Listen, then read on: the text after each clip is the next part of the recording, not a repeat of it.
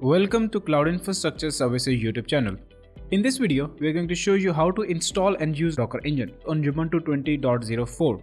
So let's get started. So first off, you should know that Docker Engine does not exist in the Ubuntu repository.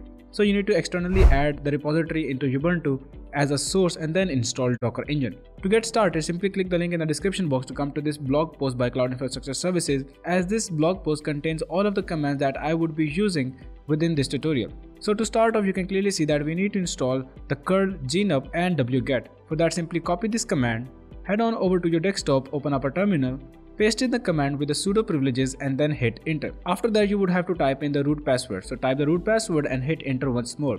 Now, once that is done, the next step is to add the public GPG key of Docker Engine. For that, head back to the blog post, simply copy this command and paste it inside your terminal. But before pasting it, you need to move over to the root user. So simply type in sudo space hyphen i, provide the password for the root user, and then you would become the root of your operating system. After that, simply paste in this command and then hit enter. Now you cannot run this command even with the sudo privileges, so that is why you had to change over to the root user. Once that is done, now we want to add in the repository of Docker Engine to the apt list. For that simply copy this command and then paste it inside your terminal and then hit enter. Now once that is done, the next step is to update our apt list. Now for that simply type in the command sudo apt get update and then hit enter. One more thing, if you run this command to add the repository and you get an error, then in that case what you need to do is that you need to remove this dollar symbol followed up by a variable completely even the backslash and after the Ubuntu you simply have to put a space type in focal and then stable. So that is how that error would be fixed. So the error is basically that it cannot find the variable for the latest stable release rather it has been changed to Ubuntu focal stable. So that is how you can reduce that error as well.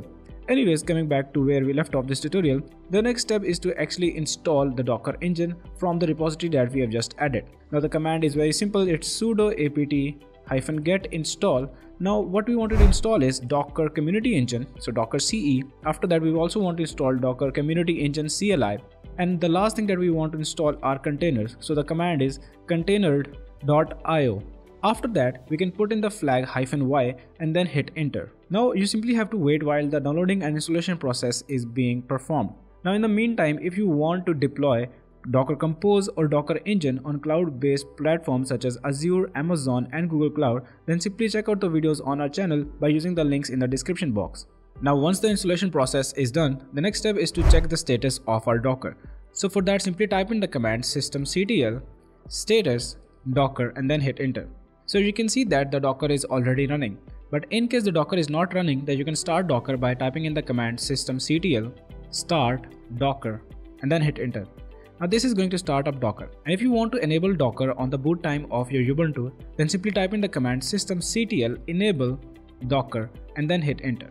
Now once that is done, you can move along with your Docker applications.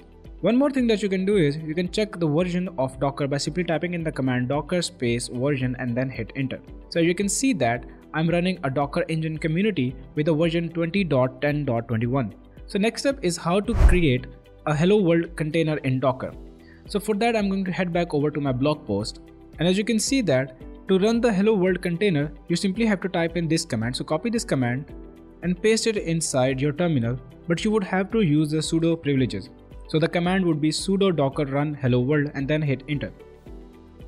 And now you can see in the terminal that this is a template from Docker. So it says hello from Docker. So you can be assured that your Docker installation is working perfectly fine. Anyways, that was all about this tutorial. Now if you have any queries regarding this tutorial, make sure to leave that query in the comment section down below and we will get to you as soon as possible.